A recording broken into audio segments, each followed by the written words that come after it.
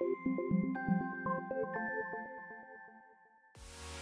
Good afternoon ladies and gentlemen, your boy Virtus here and welcome back to the Unreal Engine 4 side scroller series. In today's video we are finally going to be working on the environment for our game. Having said that we're going to be working on blocking out the level ready for us to put a whole bunch of different assets into our scene. So we're going to be going over getting some assets from the asset store for us to use and then we're going to be blocking out the level using BSP so we can later on go over it with all of the assets. So first things first, don't worry about everything that we've got in here, we are going to completely delete all all of this stuff in a minute and then we're going to make this a little bit easier for the player to navigate. Before we can do that, let's just go ahead and get the assets that I was talking about. Now the assets that I'm going to be using come from the Infinity Blade demo. Now this is a free set of assets that you can download from the Unreal Engine 4 asset store and add to your project. If you want to get to them, simply go to search content and then simply type in Infinity Blade.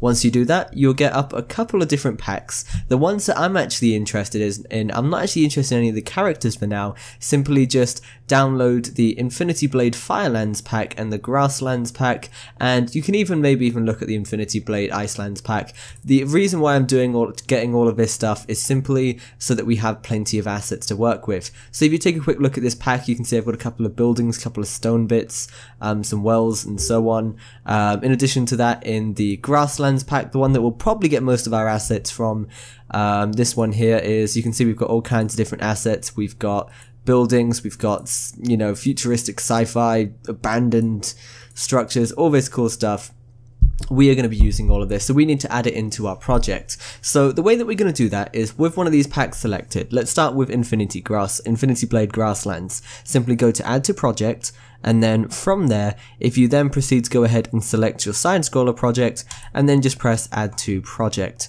And then just go ahead and do the same thing for each one of the packs that I mentioned. So do the same thing for the firelands pack so click that give it a couple of seconds press add to project and then just go ahead and dump that in there the latest version of your project one more time I'm going to go ahead and do that for the Icelands pack and then from there we can proceed to jump into our level and we can start adding all of the BSP stuff in there.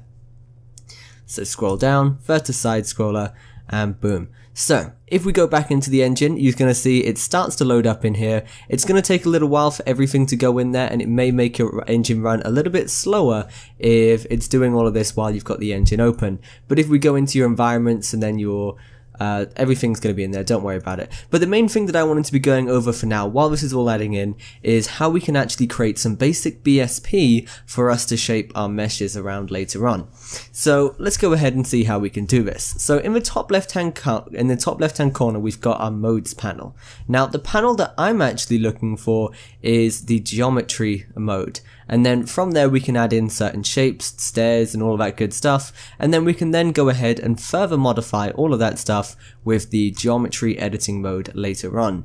For now, let's just go ahead and get rid of some of these bits that I've got in my scene. So you can see at the moment these are all static meshes, I'm just going to go ahead and select these and I'm going to delete them. So just control click each one of these and then as you do you can start to delete all of these which is quite nice and what I'm also going to do is I'm actually going to remove all of these walls that I've got here so that we can make our level a little bit longer because with this side scroller template there really isn't that much to it. And I'm also going to get rid of all of these as well. And I'm not going to worry about deleting all the pickup items and that stuff in the minute. I'm literally just going to focus on getting rid of all this groundwork. And then from here, we can now proceed to add in a few bits of geometry. Now, you guys can be as creative as you like with your geometry.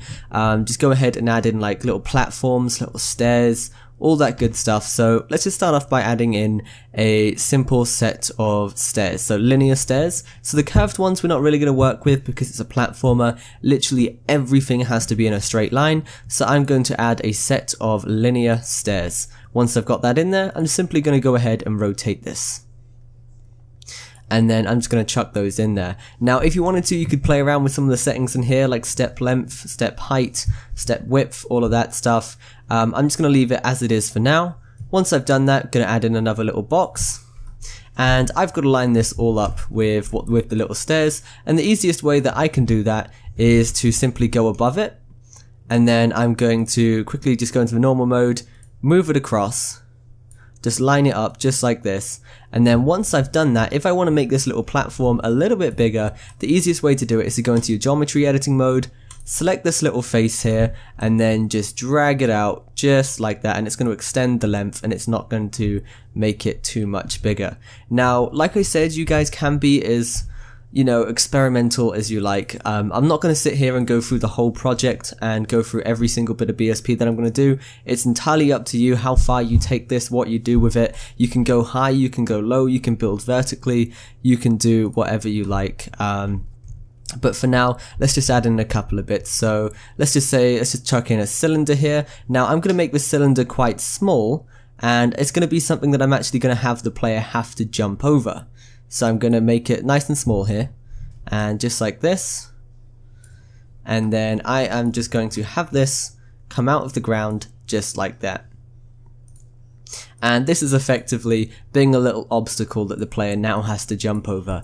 In addition to this, let's go ahead and add in another one, which is a little bit bigger, so the player actually has to use their booster, uh, the jump boost ability to get over. So this time, I am literally just going to scale this up nice and easily, so let's take a look at this.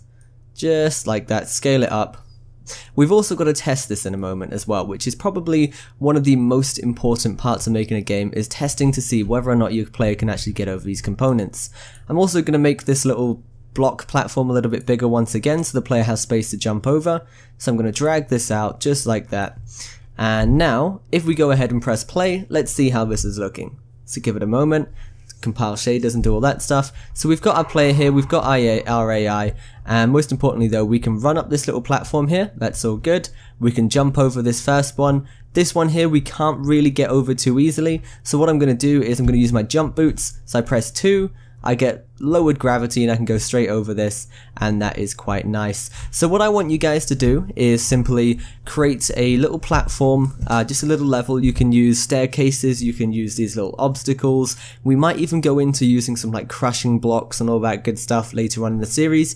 But for now, just create something that create something like this make it as long as you like add in all kinds of different jumpy bits and we will populate it with static meshes later on. Um, also make sure you do check and refresh your content browser. It's going to take a little while for all of your assets to go in there but don't worry about how long it takes. Is like I said we have got loads to work on in terms of this level. It'll all be done. But anyway guys that's pretty much everything for this video. I uh, hope you have enjoyed it. Once again thanks for watching. Stay awesome. Keep creating your boy Virtus, signing out.